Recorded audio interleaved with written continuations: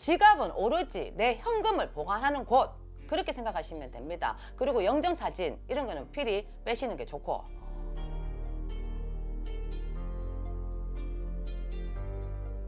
이번에는 지갑 관련한 질문을 드릴 건데 음. 누구나 다 지갑을 들고 다니잖아요. 음. 근데 유튜브에 지갑에 들고 다니면 좋은 물건은 많이 나왔어요. 음. 근데 지갑에 들고 다니면 안 되는 것들은 선생님 한번 정리 음. 한번 해주시면 좋을 것 같습니다. 어, 여러분들 있잖아요. 지갑은 어, 앞전에도 찍었지만 반지갑보다는 장지갑이 분명히 좋다고 얘기를 했고요.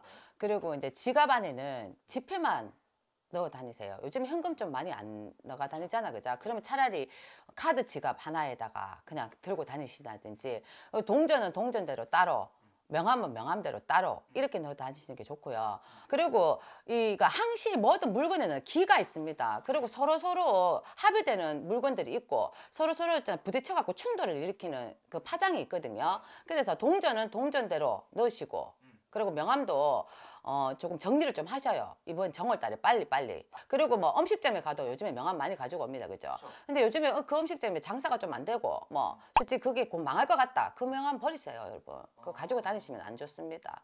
항시 좋은 기운의 사람들의 물건을 가지고 있으면 내가 좋아. 근데 그 상대방의 물건들이라든지 그런 것들이 안 좋으면, 안, 기운이 별로 안 좋으면 나한테도 분명히 파장이 온다는 거. 그리고 영수증 있죠, 여러분들. 뭐, 네. 음, 뭐 카드 영수증 주세요. 뭐 받고 뭐 물건 사고 영수증 뭐 막 끼워 놓는 분들. 그거 버리세요, 여러분들. 이미 지출했는 영수증을 가지고 다니시면 안 되고 영수증은 영수증대로 정리를 하셔가지고 버리실 거는 다 당장 지갑에서 빼시는 게 좋습니다. 명함을 말씀해 주셨는데 음. 다른 사람의 명함은 넣고 다니면 안 좋다 음, 말씀해 주셨는데 제 명함은 어, 내 거는 너가 넣어도 상관없지. 상관없어요. 응. 아, 근데 명함에 넣어두면은 명함이 좀 약간 조금 끝부분이 응. 구겨지는 경우도 있고 응, 하더라고요. 응, 응, 응. 그런 것도 정말 안 좋아요. 뭐 그거야 뭐 넣다 보면 구겨질 수도 있는데 그런 것까지는 뭐 흠잡을 필요는 없다고 생각하는데요. 뭐든지 보관을 하실 때쫙 펴가지고 쫙 펴진 상태에서 구김 없이 그렇게 보관을 하시는 게 좋습니다. 지폐도 마찬가지고. 응. 그리고 카드도 진짜로 안 쓰는 카드들을 진짜 많이 넣어두시는 분들도 정말 많아요. 맞아. 응, 두껍게. 응, 응, 좀 응, 응. 응, 안 좋아. 왜냐면 이게 아까도 분명히 얘기를 했지만 이 카드 자체에서도 무슨 카드 뭐 여러 많잖아 그죠? 회사마다 다 틀리는데 뭐 막말 따지면 이, 가- 이 카드에 한도가 얼마가 있고 이 카드에 뭐 한도가 얼마가 있고 막 여러 가지가 있잖아. 될 수 있는 한 그래도 한도가 좀 많은 걸로. 그래도 좀 한도가 이제 큰 거를 그렇게 재무를 조금 그렇게 할 수 있게 그 한 장만 딱 넣어가 다니시는 거죠 여러 가지로 겹치는 건 좋지 않다고 봅니다. 쓸 카드 한 장만 딱 응, 그렇지. 아, 그리고 나머지는 카드 지갑에 따로 보관을 하신다든지 내 패스포드 뭐 현금하고 같이 넣는 것에는 한 가지만 깔끔하게 음, 응, 그리고 또 부적을 넣고 다니는 응, 분들도 있, 응, 있잖아요. 응, 응. 그 부적을 1년이고 2년이고 응. 넣고 다니는 분들도 응, 있어요. 응. 부적은 그 제가 분명히 여기서도 또 한 가지 말씀드리고 싶은 거는 부적을 이 이렇게 어느 선생님 집에 가서 또 부적을 받았어. 또 어떤 선생님 집에 가서 부적을 또 받았거든. 근데 부적에도 있잖아요. 그분들만의 있잖아. 각자의 신명이 있습니다. 신장도 있고. 그러면 여기가 여- 이 부적에 이거 부딪힘이 있다라고 얘기를 하거든.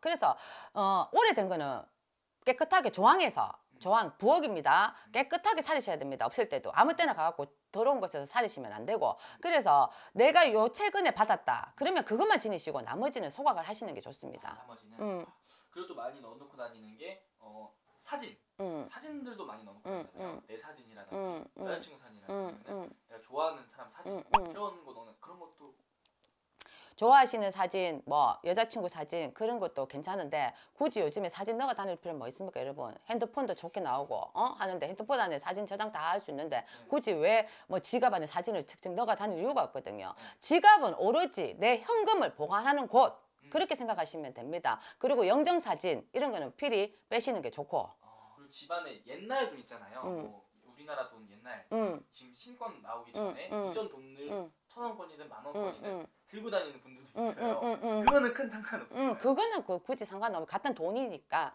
근데 옛날에 지폐라든지 화폐라든지 그런 것도 따로 이제 보관하셔가지고 아까도 얘기했지만 금고라든지 그런 데 보관하시면 좋습니다. 응, 알겠습니다. 네. 감사합니다. 감사합니다.